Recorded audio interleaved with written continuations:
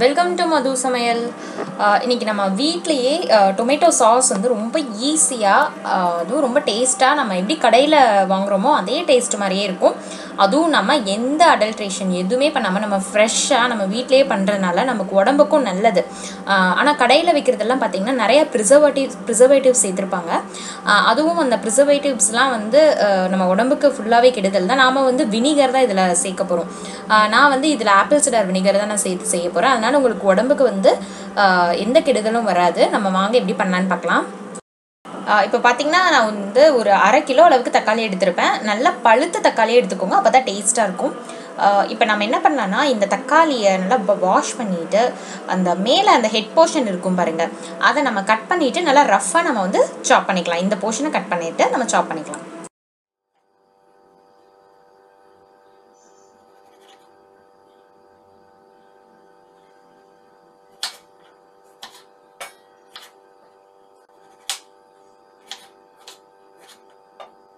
இப்போ பாருங்கள் நம்ம எல்லாம் ரஃப்பாக இந்த மாதிரி சாப் பண்ணியாச்சு. இப்போ நான் வந்து ஒரு குக்கரில் நம்ம கட் பண்ணி வச்ச இந்த தக்காளி எல்லாத்தையும் நம்ம சேர்த்துக்கலாம். இப்போ நம்ம கொஞ்சமாக தண்ணி சேர்த்துக்கலாம். இப்போ பார்த்தீங்கன்னா ஒரு அரை டம்ளர் அளவுக்கு தான் நான் தண்ணி சேர்த்துருக்கேன். ஏன்னா அந்த தக்காளிலேயே ஜூஸ் இருக்கும். நம்ம இந்த அளவுக்கு தண்ணி ஊற்றினாலே போதும். இப்போ நம்ம குக்கரை க்ளோஸ் பண்ணி இப்போ நம்ம வேக விட்டுறலாம். இப்போ நான் ஹையில் வச்சுருக்கேன். மேலே ஆவி வருது பாருங்கள் மேலே ஆவி வந்ததுக்கப்புறம் சிம் பண்ணிவிட்டு நம்ம வெயிட்டை போட்டுடலாம் நல்லா சிம்மில் நம்ம வெயிட் போட்டு ஒரு பத்து நிமிஷம் வேக வச்சு எடுத்தாச்சு. நல்லா இந்த ரிலீ கேஸ்லாம் ரிலீஸ் ஆனதுக்கப்புறம் இந்த மாதிரி இப்போ ஓப்பன் பண்ணி பார்க்கலாம். பார்த்தீங்கன்னா நல்லா சாஃப்டாக தக்காளி வெந்திருக்கும். பாருங்கள் நல்லா அப்படியே ம ரொம்ப நல்லா சூப்பராக அப்படியே மசிஞ்சு நல்லா ஜூஸ் எல்லாம் வெளியே வந்திருக்கு இப்போ நம்ம என்ன பண்ணலாம்னா ஒரு பிளேட்டில் அந்த தக்காளியை மட்டும் நம்ம தனியாக எடுத்து வச்சு இதை ஆற விடலாம். ஏன்னா நம்ம மிக்சியில் போட்டு அரைக்கணும். சூடாக போடக்கூடாது. மிக்சி கெட்டு போயிடும் அதனால் நம்ம என்ன பண்ணுறோம் அந்த தண்ணியை விட்டுட்டு அந்த தக்காளியை மட்டும் இந்த மாதிரி ஒரு பிளேட்டில் போட்டு ஆற விட்டுறலாம். அந்த தண்ணியை நம்ம லேட்டர் நம்ம யூஸ் பண்ணிக்கலாம் சாஸ் செய்கிறப்ப இப்போது இந்த தக்காளி எல்லாமே நல்லா ஆறிடுச்சு. இப்போ நம்ம மிக்சியில் போட்டு ஸ்மூத் பேஸ்ட்டாக அரைச்சிக்கலாம்.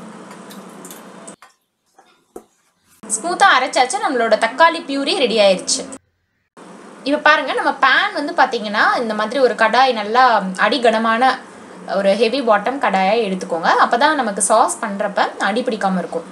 இப்போ நம்ம ஒரு ஸ்ட்ரெயினர் வச்சு இப்போ நம்ம அரைச்சி வச்ச அந்த டொமேட்டோ பியூரியை நல்லா இந்த மாதிரி நம்ம ஃபில்ட்ரு பண்ணிக்கணும்.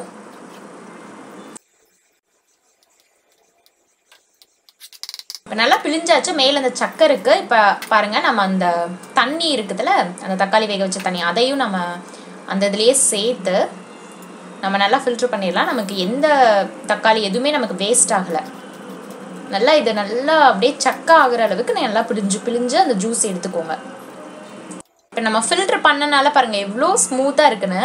இப்போ நம்ம ஸ்டவ் ஆன் பண்ணி நம்ம வேக விட வேண்டியதான் இப்போ ஃபஸ்ட்டு வந்து நீங்கள் ஹையில் வச்சுக்கோங்க. இந்த நல்லா கொதி வரட்டும். நல்லா பாயில் ஆகணும். பாயில் ஆனதுக்கப்புறம் நம்ம சிம் பண்ணிக்கலாம். அதுக்கப்புறம் நீங்கள் சிம் சிம்லேயே தான் வச்சுருக்கணும். நல்லா மீடியம் ஃப்ளேம்லேயே வச்சுக்கோங்க. அப்போ தான் உங்களுக்கு தெரிக்காமல் இருக்கும். இப்போ நல்லா கொதிக்குது பாருங்கள் நம்ம அடுத்து நம்ம சேர்க்க வேண்டிய ஐட்டம்ஸ்லாம் இந்த ஸ்டேஜில் சேர்த்துக்கலாம். இப்போ நான் வந்து சுகர் பார்த்தீங்கன்னா சர்க்கரை வந்து ஒரு மூணு டேபிள் ஸ்பூன் அளவுக்கு எடுத்திருக்கேன். நீங்கள் வந்து உங்கள் டேஸ்ட்டுக்கு தகுந்த மாதிரி எடுத்துக்கலாம். ஒரு வேளை நீங்கள் இதை சேர்த்துட்டு அதுக்கப்புறம் கொஞ்சம் டேஸ்ட் பண்ணி பார்த்துட்டு உங்களுக்கு சர்க்கரை ஸ்வீட் பத்தலை அப்படின்னா நீங்கள் இன்னும் கூட சேர்த்துக்கலாம். அதே மாதிரி தான் காரமும். இப்போ காரத்துக்கு நம்ம மிளகாத்தூள் தான் சேர்க்க போகிறோம் மிளகாய்த்தூள் ஒரு டீஸ்பூன் அப்புறம் உப்பு வந்து அரை டீஸ்பூன் அளவுக்கு நான் எடுத்திருக்கேன்.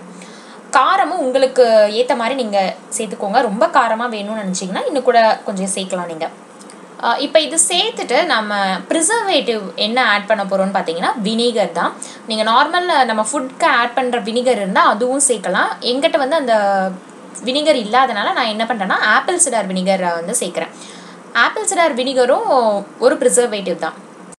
இப்போ ஆப்பிள் சிடார் வினிகர் ஒரு நாலு டேபிள் ஸ்பூன் அளவுக்கு நான் எடுத்திருக்கேன். அதை நம்ம சேர்த்துடலாம். நீங்கள் ஒயிட் வினிகர் வச்சுருந்தீங்கன்னா அது கூட சேர்க்கலாம் இதுக்கு பதிலாக ஒயிட் வினிகர் வந்து கொஞ்சம் சீப்பாக இருக்கும். நீங்கள் அது வாங்கிக்கலாம். இப்போ நல்லா மிக்ஸ் பண்ணி விட்டுக்கலாம். இப்போ பார்த்தீங்கன்னா எவ்வளோ தண்ணியாக இருக்குன்னு பாருங்கள் அதுவும் கரண்டிலேயும் உங்களுக்கு இப்படி எடுத்தால் எதுவும் ஒட்டவே இல்லை. ஸோ நம்ம எந்த அளவுக்கு குக் பண்ணும் அப்படின்னு பார்த்துக்கோங்க கன்சிஸ்டன்சி சொல்கிறேன் நீங்கள் அந்த கரண்டியை வந்து நீங்கள் இந்த மாதிரி இப்படி உள்ளே இப்படி சாஸை விட்டு இப்படி எடுக்கிறப்ப உங்களுக்கு கரண்டியில் வந்து நல்லா கோட் ஆகும். அந்த அளவுக்கு உங்களுக்கு அப்படியே சுண்டி வரும். அது வரைக்கும் நம்ம குக் பண்ணணும்.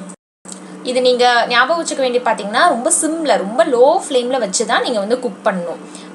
அப்போ தான் உங்களுக்கு கரெக்டாக வரும் அந்த சாஸோட டேஸ்ட்டு அப்பப்போ நீங்கள் இந்த மாதிரி கிண்டி விட்டுக்கோங்க.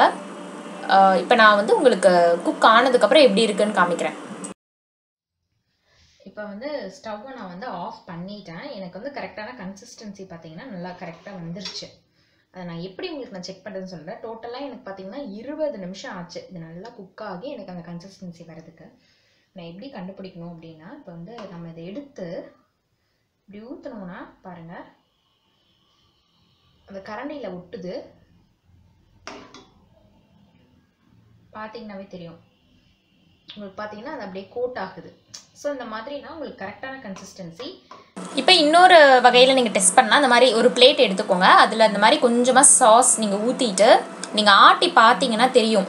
அப்படியே ரொம்ப லூஸாக ரன்னிங்காக இல்லாமல் இந்த அளவுக்கு உங்களுக்கு இருக்குது பாருங்கள் அப்படியே உங்களுக்கு அப்படியே ஒழுகாமல் அப்படியே ஓரளவு நல்லா கெட்டியாக இருக்குது அது மாதிரி தண்ணி எதுவுமே கீழே விழுகலை. அப்படியே கீழே தண்ணி ஏதாவது ட்ரிப் ஆச்சுன்னா இன்னும் கூட நீங்கள் குக் ஆ குக் பண்ணணும்னு அர்த்தம். ஆனால் நமக்கு அந்த அளவுக்கு இல்லை. நமக்கு தண்ணி கீழே வரவே இல்லை பாருங்கள் அப்போ இது நமக்கு அழகாக சூப்பராக பதமாக குக் ஆயிடுச்சு இப்போ வந்து பார்த்தீங்கன்னா இந்த சாஸ் நான் செஞ்சது நான் ஓப்பன்லேயே வச்சு தான் குக் பண்ணேன். எதுவும் மூடி லிட்டெல்லாம் போட்டு மூடி நான் மூடவே இல்லை.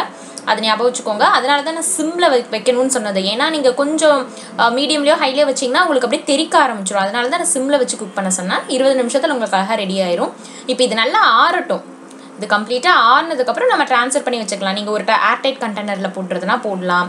ஏர்டைட் ஒரு பாக்ஸில் போட்டு நீங்கள் வெளியே வச்சிங்கன்னா ஒரு த்ரீ மந்த்ஸ் வரைக்கும் நீங்கள் வச்சுக்கலாம். நீங்கள் ஃப்ரிட்ஜில் வச்சிங்கன்னா ஆறு மாதம் வரைக்கும் கூட நீங்கள் டென்ஷன் இல்லாமல் ஃப்ரிட்ஜில் வச்சு வேணுங்கிறப்ப யூஸ் பண்ணிக்கலாம்.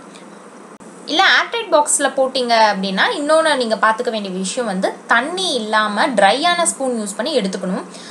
இல்லைனா நீங்கள் இப்போ நிறையா இப்போ டிபார்ட்மெண்ட் ஸ்டோர்லலாம் விற்கிது ஸ்கியூஸ் பாட்டில்னு சொல்லிட்டு அதாவது சாஸ் ஆயில் டிஸ்பென்சர்னு சொல்லிட்டு விற்கிது அது நீங்கள் கூட வாங்கி வச்சுக்கலாம். அதில் வந்து நீங்கள் ஃபில் பண்ணி வச்சுக்கலாம் சாஸை பாருங்கள் இதுதான் அந்த ஸ்கியூஸ் பாட்டில் எல்லா இடத்துலையும் கிடைக்கிது. இதை நம்ம இப்படி ஓப்பன் பண்ணி நம்ம அப்படியே ஸ்கியூஸ் பண்ணோன்னா அழகாக அந்த சாஸ் விழுந்துரும். நம்ம ஸ்பூன் எடுத்து யூஸ் பண்ண வேண்டியதில்லை. உங்களுக்கு எது எந்த மாதிரி ஸ்டோர் பண்ணுறீங்களோ அந்த மாதிரி ஸ்டோர் பண்ணிக்கலாம். இப்போ இந்த பாட்டிலில் எப்படி நீங்கள் அந்த சாஸை ஃபில் பண்ணும் அப்படின்னு பார்த்தீங்கன்னா ஒரு ஃபனல் வச்சுக்கோங்க இந்த மாதிரி. ஃபனல் வச்சுட்டு அதுக்கப்புறம் ஊற்றுனீங்கன்னா உங்களுக்கு கீழே சிந்தாமல் ஊற்றிடும் ஊற்றிட்டு டைட்டாக மூடி வச்சுக்கோங்க. நீங்களும் வீட்டில் இந்த கண்டிப்பாக இந்த டொமேட்டோ சாஸை ட்ரை பண்ணி பார்த்துட்டு எனக்கு எப்படி இருந்ததுன்னு கமெண்ட் சொல்லுங்கள் சேனல் எல்லோரும் மறக்காமல் சப்ஸ்கிரைப் பண்ணுங்கள் தேங்க்யூ